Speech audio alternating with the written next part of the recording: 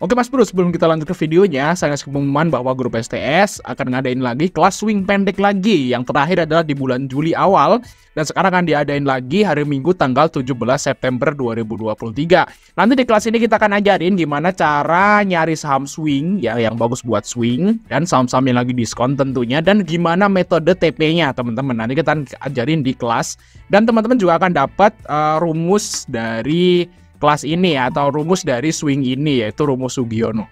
Uh, akan dapat rumusnya dan teman-teman juga akan dikasih tahu gimana cara pakainya. Dan ini adalah contoh di MTEL muncul di rumus Sugiono itu di harga 660 dan sekarang harganya adalah 730. Nah, yang kedua ini adalah BNI dan Medco. Ini BNI muncul di 8950, ini muncul di sekitar Sugiono, terus Medco muncul di 900. Medco itu harga udah 1200-an untuk saat ini. Mantap sekali dan ini muncul sinyal di harga 905. Oke, bagi teman-teman yang uh, pengen ikut kelas ini atau masih belum jelas juga, masuk bisa lihat video di atas. Nah, video di atas tuh saya jelasin tentang kelas ini secara detail, diklik aja dulu, tonton dulu. Nanti kalau masih belum jelas, masuk bisa langsung tanya aja saya. Kontak semua ada di deskripsi. Sebelum Mas Bro, yang kita di Fajar Daily dan kali ini kita akan bahas harga wajar. Lagi, ya, yang kita bahas kali ini adalah harga wajar dari Temas, teman-teman. Ini juga ada permintaan, Bang, bahas Temas. Siap. Oke, kita akan bahas uh, harga wajar saham Temas. Berapa kira-kira teman-teman? Nah, mungkin banyak teman-teman yang ngehold saham ini ya, karena memang saham ini sempat viral waktu itu guys ya, uh, naik lumayan tinggi gitu ya, dan dia itu sering banget bagi dividen kok.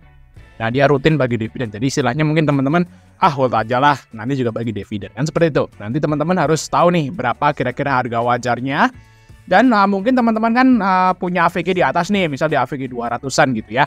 Nah, ini harga wajar ini mungkin bisa jadi momen saatnya untuk AVG dot.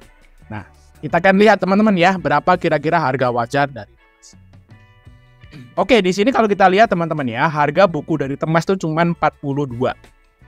41,93 itu 42. Wow, harga bukunya APB satu kalinya itu di bawah 50 teman-teman. Nah, apakah harganya saat ini kemahalan banget? Nah, kita akan hitung ya. Nah, Temas ini adalah perusahaan kapal ya, perusahaan peti kemas teman-teman yang udah termasuk uh, kelas gede juga guys, kelas berat. Jadi istilahnya um, apa namanya udah terkenal lah dia ya, termasuk ya salah satu market leader maybe termasuk di uh, market leader gitu ya di kelasnya seperti teman-teman. Nah, kalau kita lihat di sini masyarakatnya itu 18% sekian ya. Jadi masih aman porsi masyarakatnya. Oke, kita langsung lihat aja uh, di sini teman-teman ya. Harga emas sudah drop gitu ya. Lumayan gede dropnya dari 300 sekarang ke 171. Nah, ini berarti udah turun mungkin nyaris 40% gitu ya dari awal tahun kemarin ya. Oke, kita lihat langsung aja di sini ya. Kita masukin harga wajar dari Temas. Nah, kita lihat di sini teman-teman, syaratnya apa? Di sini harga buku ya. Di sini harga buku um, di sini ya, PBVPS ya 42 lah ya. 2 Nice terus untuk PBB anual di sini uh, 4 4 kali ya kita lihat 4 kali ya 08 Terus uh, harga saat ini itu adalah 171. Nice terus uh, ROE anual. ROE anual di sini 33,26 ya. 33,26. Kemarin saya input salah, Telkom salah ya. Nah, dicek lagi. Uh, harga bukunya di sini 42 oke okay. terus PBV annualnya 4,08 oke okay. terus harga saat ini 171 ya oke okay.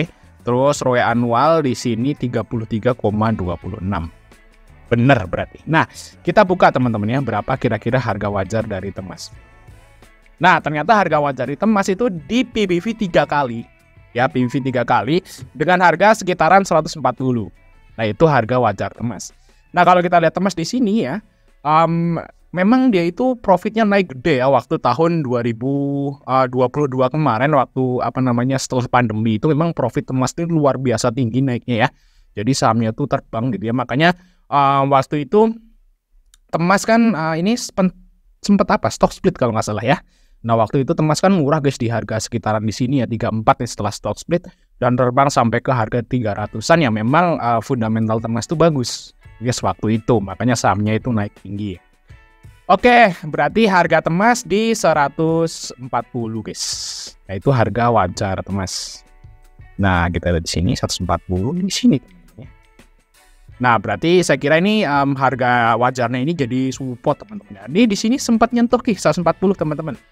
Ya di tanggal 4 September dan dia naik lagi. Berarti uh, karena memang uh, Temas ini market leader dan uh, apa namanya perusahaannya juga perusahaan bagus, profitable, rutin bagi dividen ya mungkin uh, harga buku, uh, sorry harga wajar ini jadi support kuat.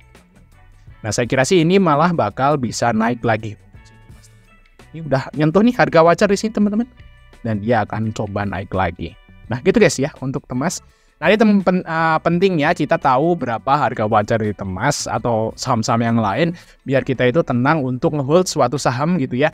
Tapi kalau teman-teman ini nggak tahu harga wajarnya gitu ya, mungkin uh, bagi teman-teman yang beli di Temas di harga 170-an ini masih kaget ya. Deg-degan gitu. Wah, 70 ya. Mahal ya. Enggak teman-teman, kalau teman-teman cuma lihat PBV-nya doang, ah, harga bukunya doang, harga buku kan di 40 ya. Wah kaget harga punya 40 gue AVG-nya 171 mungkin udah deg-degan ya. Tapi kalau teman-teman tahu harga wajarnya pasti enggak kan? Kan santai kan di AVG ini gitu. Seperti guys ya itu pentingnya teman-teman tahu harga wajar. Nah bagi teman-teman yang pengen dapat rumus harga wajar ini teman-teman uh, chat saya aja guys ya, japri saya aja. Nanti Mas Bro bisa join ke kelas SDS tanggal 17 September. Dan itu slotnya terbatas atau terbatas teman-teman tanggal 17 itu. Langsung kontak saya aja biar nggak kehabisan kursi ya.